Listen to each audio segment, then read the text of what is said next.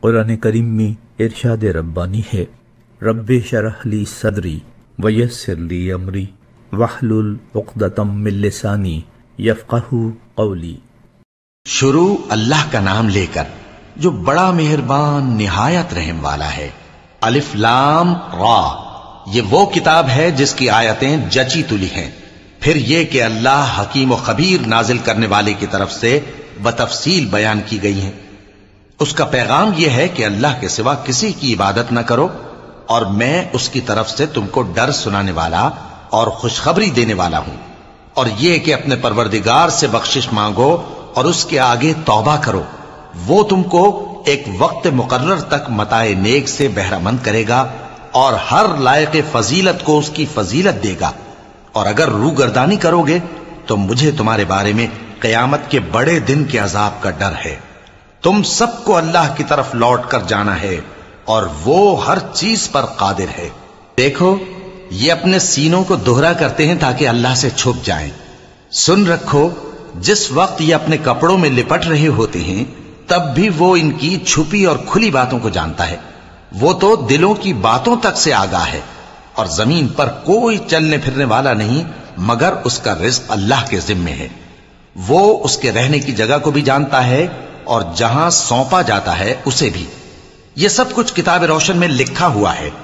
اور وہی تو ہے جس نے آسمانوں اور زمین کو چھ دن میں بنایا اور اس وقت اس کا عرش پانی پر تھا۔ تمہارے پیدا کرنے سے مقصود یہ ہے کہ وہ تم کو آزمائے کہ تم میں عمل کے لحاظ سے کون بہتر ہے۔ اور اے نبی، اگر تم کہو کہ تم لوگ مرنے کے بعد زندہ کر کے اٹھائے جاؤ گے، تو کافر کہہ دیں گے کہ یہ تو کھلا جادو ہوا۔ اور اگر ایک مدت معین تک ہم ان سے عذاب روک دیں، تو کہیں گے کہ کون سی چیز عذاب کو روکے ہوئے ہے؟ دیکھو، جس روز وہ ان پر واقع ہوگا، پھر ٹلنے کا نہیں۔ اور جس چیز کا یہ مذاق اڑاتے ہیں، وہ ان کو گھیر لے گی۔ اور اگر ہم انسان کو اپنے پاس سے نعمت بخشیں، پھر اس سے اس کو چھین لے، تو نا امید اور نا ہو جاتا ہے۔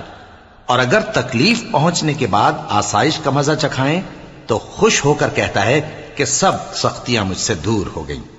بے شک وہ ہے ہی خوشی میں مست ہو جانے والا، بڑا فخر جتانے والا۔ ہاں جنہوں نے صبر کیا اور عمل نیک کیے، یہی ہیں جن کے لیے بخشش اور اجر عظیم ہے۔ تو شاید تم کچھ چیز وہی میں سے جو تمہارے پاس آتی ہے چھوڑ دو، اور اس خیال سے تمہارا دل تنگ ہو کہ کافر یہ کہنے لگیں کہ اس پر کوئی خزانہ کیوں نہیں نازل ہوا؟ یا اس کے ساتھ کوئی فرشتہ کیوں نہیں آیا؟ اے نبی، تم تو صرف نصیحت کرنے والے ہو اور اللہ ہر چیز کا نگہبان ہے۔ کیا یہ لوگ کہتے ہیں کہ اس نے قرآن از خود بنا لیا ہے؟ کہہ دو کہ اگر سچے ہو تو تم بھی ایسی دس صورتیں بنا لاؤ اور اللہ کے سوا جس جس کو بلا سکتے ہو بلا بھی لو۔ پس اگر وہ تمہاری بات قبول نہ کریں تو جان لو کہ یہ قرآن اللہ کے علم سے اترا ہے اور یہ کہ اس کے سوا کوئی معبود نہیں۔ تو کیا تم لوگ اسلام لاتے ہو؟ جو لوگ دنیا کی زندگی اور اس کی زیب و زینت کے طالب ہوں، ہم ان کے اعمال کا بدلہ انہیں دنیا ہی میں دے دیتے ہیں، اور اس میں ان کی حق تلفی نہیں کی جاتی۔ یہ وہ لوگ ہیں جن کے لیے آخرت میں آتش جہنم کے سوا اور کچھ نہیں۔ اور جو عمل انہوں نے دنیا میں کیے سب برباد، اور جو کچھ یہ کرتے رہے سب ضائع ہوا۔ بھلا جو لوگ اپنے پروردگار کی طرف سے دلیل روشن رکھتے ہوں اور ان کے ساتھ ایک آسمانی گواہ بھی اس کی جانب سے ہو۔ اور اس سے پہلے موسا کی کتاب ہو جو پیشوا اور رحمت ہے، تو کیا وہ قرآن پر ایمان نہیں لائیں گے؟ یہی لوگ تو اس پر ایمان لاتے ہیں، اور جو کوئی اور فرقوں میں سے اس سے منکر ہو، تو اس کا ٹھکانہ آگ ہے، تو تم اس قرآن سے شک میں نہ ہونا۔ یہ تمہارے پروردگار کی طرف سے حق ہے، لیکن اکثر لوگ ایمان نہیں لاتے۔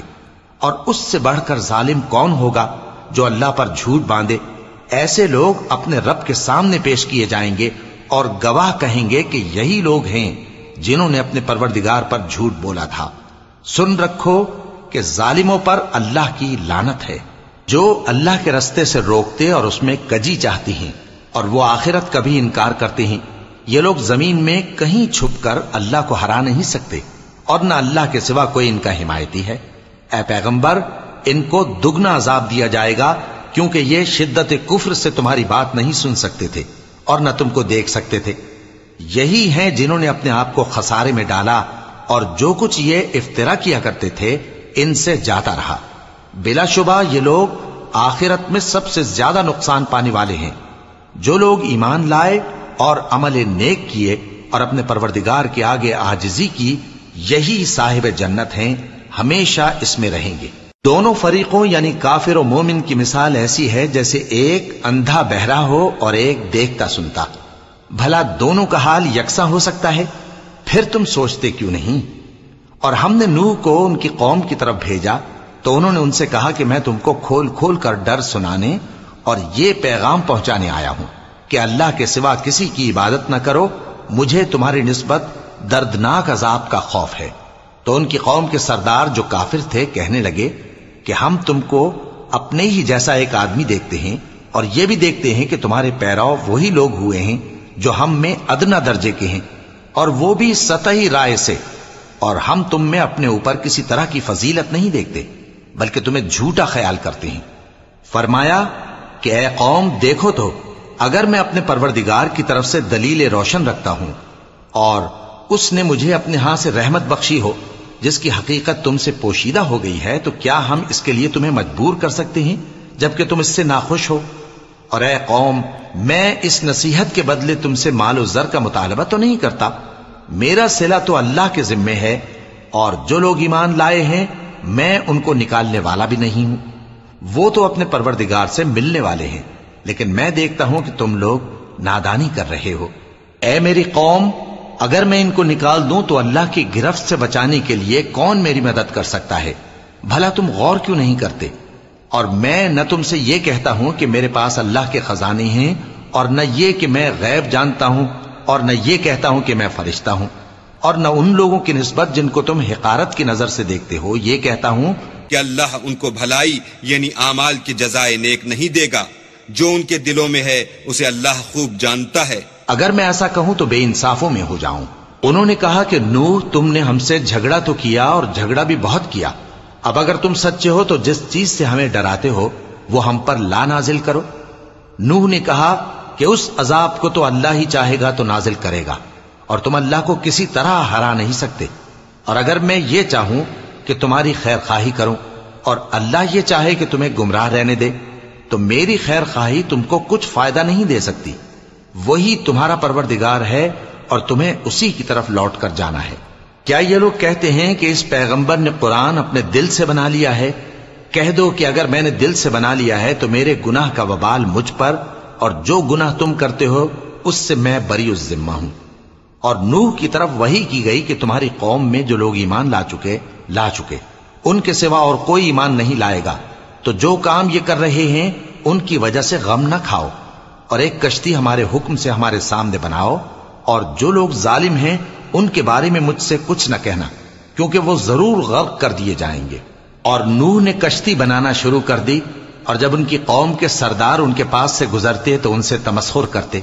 وہ کہتے کہ اگر تم ہم سے تمسخر کرتے ہو تو جس طرح تم ہم سے تمسخر کرتے ہو، اسی طرح ایک وقت ہم بھی تم سے تمسخر کریں گے۔ اور تم کو جلد معلوم ہو جائے گا کہ کس پر عذاب آتا ہے جو اسے رسوا کرے گا اور کس پر ہمیشہ کا عذاب نازل ہوتا ہے۔ یہاں تک کہ جب ہمارا حکم آ پہنچا اور تنور جوش مارنے لگا، تو ہم نے نوح کو حکم دیا کہ ہر قسم کے پالتو جانوروں میں سے جوڑا جوڑا یعنی ایک ایک نر اور ایک ایک مادہ لے لو اور جس شخص کی نسبت حکم ہو چکا ہے کہ ہلاک ہو جائے گا، اس کو چھوڑ کر اپنے گھر والوں کو اور جو ایمان لایا ہو، اس کو کشتی میں سوار کر لو۔ اور ان کے ساتھ ایمان بہت ہی کم لوگ لائے تھے۔ نوح نے کہا کہ اللہ کا نام لے کر کہ اسی کے کرم سے اس کا چلنا اور ٹھہرنا ہے، اس میں سوار ہو جاؤ۔ بے شک میرا پروردگار بخشنے والا ہے، مہربان ہے۔ اور وہ ان کو لے کر طوفان کی لہروں میں چلنے لگی۔ لہریں کیا تھیں؟ گویا پہاڑ تھے۔ اس وقت نو نے اپنے بیٹے کو جو کشتی سے الگ تھا پکارا کہ بیٹا ہمارے ساتھ سوار ہو جا اور کافروں میں شامل نہ ہو۔ اس نے کہا کہ میں ابھی پہاڑ سے جا لگوں گا، وہ مجھے پانی سے بچا لے گا۔ فرمایا کہ آج اللہ کے عذاب سے کوئی بچانے والا نہیں اور نہ کوئی بچ سکتا ہے، مگر وہی جس پر اللہ رحم کرے۔ اتنے میں دونوں کے درمیان لہر حائل ہو گئی اور وہ ڈوب کر رہ گیا۔ اور حکم دیا گیا کہ اے زمین، اپنا پانی نگل جا اور اے آسمان تھم جا۔ اور پانی خشک ہو گیا اور کام تمام کر دیا گیا اور کشتی کوہ جودی پر جا ٹھہری اور کہہ دیا گیا کہ بے انصاف لوگوں پر لانت اور نوح نے اپنے پروردگار کو پکارا اور کہا کہ پروردگار، میرا بیٹا بھی میرے گھر والوں میں ہے، تو اس کو بھی نجات دے۔ تیرا وعدہ سچا ہے اور تو بہترین حاکم ہے۔ اللہ نے فرمایا کہ اے نوح، وہ تیرے گھر والوں میں نہیں ہے۔ وہ تو سراسر بد عمل ہے۔ تو جس چیز کی تم کو حقیقت معلوم نہیں اس کے بارے میں مجھ سے درخواست ہی نہ کرو اور میں تم کو نصیحت کرتا ہوں کہ نادان نہ بنو۔ نو نے کہا، پروردگار، میں تجھ سے پناہ مانگتا ہوں کہ ایسی چیز کی تجھ سے درخواست کروں جس کی حقیقت مجھے معلوم نہیں۔ اور اگر تو مجھے نہیں بخشے گا اور مجھ پر رحم نہیں فرمائے گا، تو میں تباہ ہو جاؤں گا۔ حکم ہوا کہ نو ہماری طرف سے سلامتی اور برکتوں کے ساتھ جو تم پر اور تمہارے ساتھ کی جماعتوں پر نازل کی گئی ہیں، اتر آؤ۔ اور کچھ اور جماعتیں ہوں گی جن کو ہم دنیا کے فوائد سے بہرہ مند کریں گے، پھر ان کو ہماری طرف سے عذاب علیم پہنچے گا۔ یہ حالات غیب کی خبروں میں سے ہیں جو ہم تمہاری طرف بھیجتے ہیں۔ اور اس سے پہلے نہ تم ہی ان کو جانتے تھے اور نہ تمہاری قوم ہی ان سے واقف تھی۔ تو صبر کرو کہ انجام پرہیزگاروں ہی کا بھلا ہے۔ اور ہم نے قوم عاد کی طرف ان کے بھائی ہود کو بھیجا۔ انہوں نے کہا، اے میری قوم، اللہ ہی کی عبادت کرو، اس کے سوا تمہارا کوئی معبود نہیں۔ تم شرک کر کے اللہ پر محض بہتان باندھتے ہو۔ میری قوم، میں اس واض و نصیحت کا تم سے کچھ سلا نہیں مانگتا۔ میرا سلا تو اس کے ذمے ہے جس نے مجھے پیدا کیا۔ بھلا تم سمجھتے کیوں نہیں؟ اور اے قوم، اپنے پروردگار سے بخشش مانگو، پھر اس کے آگے توبہ کرو۔ وہ تم پر آسمان سے موسلا دھار بارش برسائے گا۔ اور تمہاری طاقت پر طاقت بڑھائے گا اور دیکھو گناہ گار بن کر روگردانی نہ کرو۔ وہ بولے، ہود، تم ہمارے پاس کوئی دلیل ظاہر نہیں لائے اور ہم صرف تمہارے کہنے سے نہ اپنے معبودوں کو چھوڑنے والے ہیں اور نہ تم پر ایمان لانے والے ہیں۔ ہم تو یہ سمجھتے ہیں کہ ہمارے کسی معبود نے تمہیں تکلیف پہنچا کر دیوانہ کر دیا ہے۔ انہوں نے کہا کہ میں اللہ کو گواہ کرتا ہوں اور تم بھی گواہ رہو۔ کہ جن کو تم اللہ کا شریک بناتے ہو میں ان سے بیزار ہوں۔ یعنی جن کی اللہ کے سوا عبادت کرتے ہو، تو تم سب مل کر میرے بارے میں جو تدبیر کرنی چاہو کر لو اور مجھے مہلت نہ دو۔ میں اللہ پر، جو میرا اور تمہارا سب کا پروردگار ہے، بھروسہ رکھتا ہوں۔ زمین پر جو چلنے پھرنے والا ہے، وہ اللہ کے قبضہ قدرت میں ہے۔ بے شک میرا پروردگار سیدھے رستے پر ہے۔ اب اگر تم روگردانی کرو گے تو جو پیغام میرے ذریعے تمہاری طرف بھیجا گیا ہے، وہ میں نے تمہیں پہنچا دیا ہے۔ اور میرا پروردگار تمہاری جگہ اور لوگوں کو لا بسائے گا، اور تم اللہ کا کچھ بھی نہیں بگاڑ سکو گے۔ میرا پروردگار تو ہر چیز پر نگہبان ہے۔ اور جب ہمارا حکم عذاب آ پہنچا، تو ہم نے ہود کو اور جو لوگ ان کے ساتھ ایمان لائے تھے، ان کو اپنی مہربانی سے بچا لیا اور انہیں عذاب شدید سے نجات دی۔ یہ وہی قوم عاد ہے جس نے اللہ کی نشانیوں سے انکار کیا اور اس کے پیغمبروں کی نافرمانی کی اور ہر سرکش و متکبر کا کہا مانا۔ اور اس دنیا میں بھی لانت ان کے پیچھے لگی رہی اور قیامت کے دن بھی لگی رہے گی۔ دیکھو، قوم عاد نے اپنے پروردگار سے کفر کیا اور سن رکھو، قوم عاد پر پھٹکار ہے جو ہود کی قوم تھی۔ اور قوم سمود کی طرف ان کے بھائی سوالے کو بھیجا تو انہوں نے کہا، اے قوم اللہ ہی کی عبادت کرو، اس کے سوا تمہارا کوئی معبود نہیں۔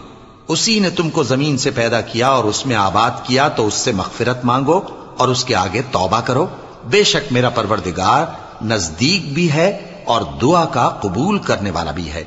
انہوں نے کہا کہ سوالے اس سے پہلے ہم تم سے کئی طرح کی امیدیں رکھتے تھے، اب وہ منقطع ہو گئی کیا تم ہم کو ان چیزوں سے منع کرتے ہو جن کو ہمارے بزرگ پوجتے آئے ہیں؟ اور جس بات کی طرف تم ہمیں بلاتے ہو، اس کی طرف سے ہم بڑے بھاری شک میں ہیں۔ سوالے نے کہا، اے میری قوم، بھلا دیکھو تو، اگر میں اپنے پروردگار کی طرف سے کھلی دلیل پر ہوں اور اس نے مجھے اپنے ہاتھ سے نبوت کی نعمت بخشی ہو، تو اگر میں اللہ کی نافرمانی کروں تو اس کے سامنے میری کون مدد کرے گا؟ تم تو کفر کی باتوں سے میرا نقصان ہی کرتے ہو۔ اور یہ بھی کہا کہ اے قوم، یہ اللہ کی اونٹنی تمہارے لیے ایک نشانی یعنی موجزہ ہے۔ تو اس کو چھوڑ دو کہ اللہ کی زمین میں جہاں چاہے چرتی پھرے اور اس کو کسی طرح کی تکلیف نہ دینا، ورنہ تمہیں جلد عذاب آ پکڑے گا۔ مگر انہوں نے اس کو کاٹ ڈالا تو سوالے نے کہا کہ اپنے گھروں میں تین دن اور فائدے اٹھا لو۔ یہ وعدہ ہے کہ جھوٹا نہ ہوگا۔ پس جب ہمارا حکم آ گیا تو ہم نے سوالے کو اور جو لوگ ان کے ساتھ ایمان لائے تھے، ان کو اپنی مہربانی سے بچا لیا اور اس دن کی رسوائی سے محفوظ رکھا۔ بے شک تمہارا پروردگار طاقتور ہے، زبردست ہے۔ اور جن لوگوں نے ظلم کیا تھا، ان کو چنگاڑ کی صورت میں عذاب نے آ پکڑا، تو وہ اپنے گھروں میں اوندے پڑے رہ گئے۔ گویا کبھی ان میں بسے ہی نہ تھے۔ سن رکھو کہ قوم سمود نے اپنے پروردگار سے کفر کیا۔ اور سن رکھو، قوم سمود پر پھٹکار ہے۔ اور ہمارے فرشتے ابراہیم کے پاس بشارت لے کر آئے تو سلام کہا۔ انہوں نے بھی جواب میں سلام کہا۔ ابھی کچھ وقفہ نہیں ہوا تھا کہ ابراہیم ایک بھنا ہوا بچڑا لے آئے۔ پھر جب دیکھا کہ ان کے ہاتھ کھانے کی طرف نہیں بڑھتے یعنی وہ کھانا نہیں کھاتے، تو ان کو اجنبی سمجھ کر دل میں خوف کیا۔ فرشتوں نے کہا کہ خوف نہ کیجیے ہم قوم لوت کی طرف ان کے ہلاک کرنے کو بھیجے گئے ہیں۔ اور ابراہیم کی بیوی جو پاس کھڑی تھی ہنس پڑی۔ تو ہم نے اس کو اسحاق کی اور اسحاق کے بعد یعقوب کی خوشخبری دی۔ اس نے کہا، اے میرے بچہ ہوگا، میں تو بڑھیا ہوں اور یہ میرے میاں بھی بوڑھے ہیں، یہ تو بڑی عجیب بات ہے. انہوں نے کہا، کیا تم اللہ کی قدرت سے تعجب کرتی ہو؟ اے اہل بیت، تم پر اللہ کی رحمت اور اس کی برکتیں ہیں، وہ لائق تعریف ہے، بڑا ہے۔ پھر جب ابراہیم سے خوف جاتا رہا اور ان کو خوشخبری بھی مل گئی، تو قوم لوت کے بارے میں لگے ہم سے بحث کرنے۔ بے شک ابراہیم بڑے تحمل والے نرم دل اور رجوع کرنے والے تھے۔ اے ابراہیم، اس بات کو جانے دو۔ تمہارے پروردگار کا حکم آ پہنچا ہے اور ان لوگوں پر عذاب آنے والا ہے جو کبھی نہیں ٹلنے کا۔ اور جب ہمارے فرشتے لوت کے پاس آئے تو وہ ان کے آنے سے غمناک اور تنگ دل ہوئے اور کہنے لگے کہ آج کا دن بڑی مشکل کا دن ہے۔ اور لوت کی قوم کے لوگ ان کے پاس بے تحاشا دوڑتے ہوئے آئے اور یہ لوگ پہلے ہی سے انتہائی بےحدہ حرکتیں کیا کرتے تھے۔ لوت نے کہا کہ اے بھائیو، یہ جو میری قوم کی لڑکیاں ہیں، یہ تمہارے لیے جائز اور پاک ہیں۔ تو اللہ سے ڈرو اور میرے مہمانوں کے بارے میں مجھے بے آبرو نہ کرو۔ کیا تم میں کوئی بھی شائستہ آدمی نہیں؟ وہ بولے، تم کو معلوم ہے کہ تمہاری ان بیٹیوں کی ہمیں کچھ حاجت نہیں، اور جو ہماری غرض ہے، اسے تم خوب جانتے ہو۔ لوت نے کہا، اے کاش، مجھ میں تمہارے مقابلے کی طاقت ہوتی، یا میں کسی مضبوط قلعے میں پناہ لے لیتا۔ فرشتوں نے کہا، اے لوت، ہم تمہارے پروردگار کے فرشتے ہیں، یہ لوگ ہرگز تم تک نہیں پہنچ سکیں گے۔ تو کچھ رات رہے سے اپنے گھر والوں کو لے کر چل دو اور تم میں سے کوئی شخص پیچھے مڑ کر نہ دیکھے۔ مگر تمہاری بیوی کے جو آفت ان پر پڑنے والی ہے، وہی اس پر بھی پڑے گی۔ ان کے عذاب کے وعدے کا وقت صبح ہے اور کیا صبح کچھ دور ہے؟ پھر جب ہمارا حکم آیا ہم نے اس بستی کو الٹ کر نیچے اوپر کر دیا اور ان پر پتھر کی تہ بتہ کنکریاں برسائیں جن پر تمہارے پروردگار کے ہاں سے نشان کیے ہوئے تھے۔ اور وہ بستی ان ظالموں سے کچھ دور نہیں۔ اور مدین کی طرف ان کے بھائی شعیب کو بھیجا۔ تو انہوں نے کہا کہ اے قوم، اللہ ہی کی عبادت کرو کہ اس کے سوا تمہارا کوئی معبود نہیں۔ اور ناپ اور تول میں کمی نہ کیا کرو۔ میں تو تم کو آسودہ حال دیکھتا ہوں۔ اور اگر تم ایمان نہ لاؤ گے تو مجھے تمہارے بارے میں ایک ایسے دن کے عذاب کا خوف ہے جو تم کو گھیر کر رہے گا۔ اور اے میری قوم، ناپ اور تول انصاف کے ساتھ پوری پوری کیا کرو اور لوگوں کو ان کی چیزیں کم نہ دیا کرو اور زمین میں خرابی کرتے نہ پھرو۔ اگر تم کو میرے کہنے کا یقین ہو تو اللہ کا دیا ہوا نفع ہی تمہارے لیے بہتر ہے اور میں تمہارا نگہبان نہیں ہوں۔ انہوں نے کہا، اے شعیب کیا تمہاری نماز تمہیں یہ سکھاتی ہے کہ جن کو ہمارے باپ دادا پوجتے آئے ہیں، ہم ان کو ترک کر دیں یا اپنے مال میں تصرف کرنا چاہیں تو نہ کریں۔ تم تو بڑے نرم دل اور بڑے سیدھے ہو۔ انہوں نے کہا کہ اے قوم، دیکھو تو، اگر میں اپنے پروردگار کی طرف سے دلیل روشن پر ہوں اور اس نے اپنے ہاں سے مجھے نیک روزی دی ہو، تو کیا میں اپنا فرض ادا نہ کروں؟ اور میں نہیں چاہتا کہ جس بات سے میں تمہیں منع کروں، خود اس کو کرنے لگوں۔ میں تو جہاں تک مجھ سے ہو سکے تمہارے معاملات کی اصلاح چاہتا ہوں اور اس بارے میں مجھے توفیق کا ملنا اللہ ہی کے فضل سے ہے۔ میں اسی پر بھروسہ رکھتا ہوں اور اسی کی طرف رجوع کرتا ہوں۔ اور اے قوم، میری مخالفت تم سے کوئی ایسا کام نہ کرا دے کہ جیسی مصیبت نوح کی قوم یا ہود کی قوم یا صالح کی قوم پر واقع ہوئی تھی، ویسی ہی مصیبت تم پر واقع ہو۔ اور لوت کی قوم کا زمانہ تو تم سے کچھ دور نہیں۔ اور اپنے پروردگار سے بخشش مانگو اور اس کے آگے توبہ کرو۔ بے شک میرا پروردگار بڑا مہربان ہے، بہت محبت کرنے والا ہے۔ انہوں نے کہا کہ شعیب، تمہاری بہت سی باتیں ہماری سمجھ میں نہیں آتی اور ہم دیکھتے ہیں کہ تم ہم میں کمزور بھی ہو اور اگر تمہارے بھائی بند نہ ہوتے تو ہم تم کو سنسار کر دیتے اور تم ہم پر کسی طرح بھی غالب نہیں ہو۔ انہوں نے کہا کہ اے قوم کیا میرے بھائی بندوں کا دباؤ تم پر اللہ سے زیادہ ہے اور اس کو تم نے پیٹ پیچھے ڈال رکھا ہے؟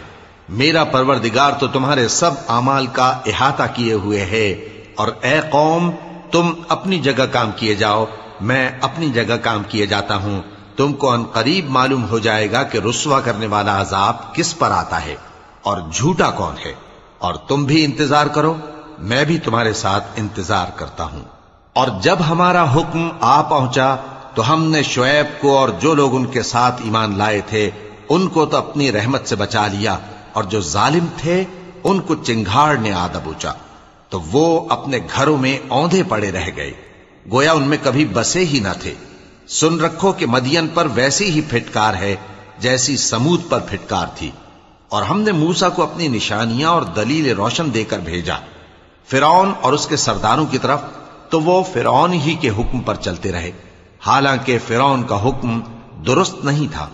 وہ قیامت کے دن اپنی قوم کے آگے آگے چلے گا، پھر ان کو دو میں جا اتارے گا۔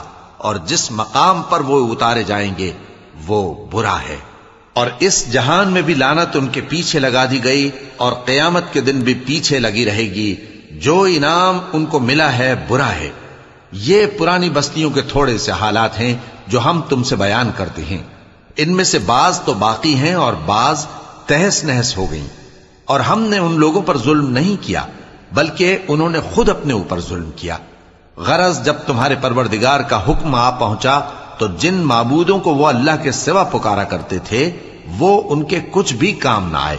اور بربادی کے سوا انہیں اور کچھ نہ دے سکے۔ اور تمہارا پروردگار جب نافرمان بستیوں کو پکڑا کرتا ہے، تو اس کی پکڑ اسی طرح کی ہوتی ہے۔ بے شک اس کی پکڑ دکھ دینے والی سخت ہے۔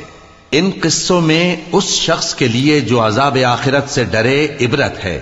یہ وہ دن ہوگا جس میں سب اکٹھے کیے جائیں گے اور یہی وہ دن ہوگا جس میں سب اللہ کے روبرو حاضر کیے جائیں گے۔ اور ہم اس کے لانے میں ایک وقت معین تک تاخیر کر رہے ہیں۔ جس روز وہ آ جائے گا تو کوئی شخص اللہ کے حکم کے بغیر بول بھی نہیں سکے گا۔ پھر ان میں سے کچھ بدبخت ہوں گے اور کچھ نیک بخت۔ تو جو بدبخت ہوں گے، وہ دوزخ میں ڈال دیے جائیں گے۔ اس میں ان کو چلانا اور دھاڑنا ہوگا۔ جب تک آسمان و زمین ہیں، وہ اسی میں رہیں گے، مگر جتنا تمہارا پروردگار چاہے۔ بے شک تمہارا پروردگار جو چاہتا ہے، کر دیتا ہے۔ اور جو نیک بخت ہوں گے، وہ بہشت میں داخل کیے جائیں گے۔ اور جب تک آسمان اور زمین ہیں، ہمیشہ اسی میں رہیں گے۔ مگر جتنا تمہارا پروردگار چاہے، یہ اللہ کی بخشش ہے جو کبھی منقطع نہیں ہوگی۔ تو یہ لوگ جو غیر اللہ کی پرستش کرتے ہیں، اس سے تم شک میں نہ پڑنا۔ یہ اسی طرح پرستش کرتے ہیں جس طرح پہلے سے ان کے باپ دادا پرستش کرتے آئے ہیں۔ اور ہم ان کو ان کا حصہ پورا پورا بغیر کچھ کم کیے دینے والے ہیں۔ اور ہم نے موسا کو کتاب دی تو اس میں اختلاف کیا گیا۔ اور اگر تمہارے پروردگار کی طرف سے ایک بات پہلے نہ ہو چکی ہوتی، تو ان میں فیصلہ کر دیا جاتا۔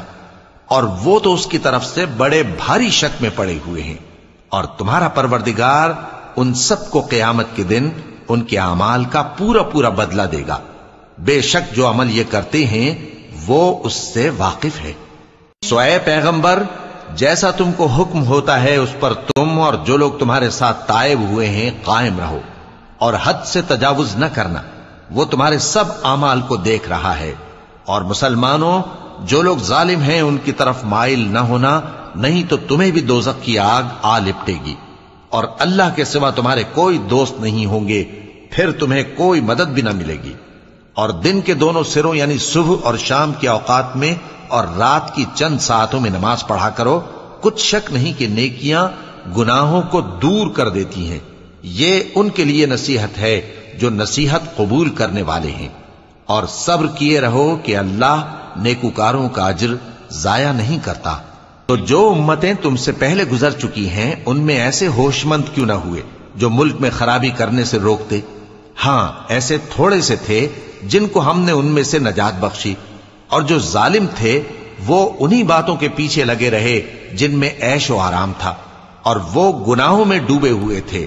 اور تمہارا پروردگار ایسا نہیں ہے کہ بستیوں کو جبکہ وہاں کے باشندے نیکوکار ہوں، از راہ ظلم تباہ کر دے۔ اور اگر تمہارا پروردگار چاہتا تو تمام لوگوں کو ایک ہی جماعت کر دیتا اور وہ برابر اختلاف کرتے رہیں گے۔ مگر جن پر تمہارا پروردگار رحم فرمائے، اور اسی لیے اس نے ان کو پیدا کیا ہے، اور تمہارے پروردگار کا قول پورا ہو گیا کہ میں دوزخ کو جنوں اور انسانوں سب سے بھر دوں گا۔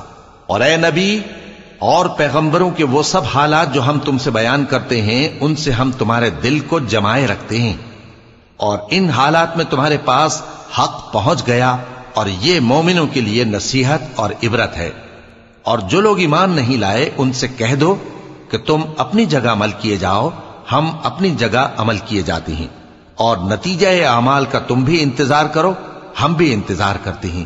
اور آسمانوں اور زمین کی چھپی چیزوں کا علم اللہ ہی کو ہے اور تمام معاملات اسی کی طرف رجوع کیے جائیں گے، تو اسی کی عبادت کرو اور اسی پر بھروسہ رکھو۔ اور جو کچھ تم لوگ کر رہے ہو، تمہارا پروردگار اس سے بے خبر نہیں۔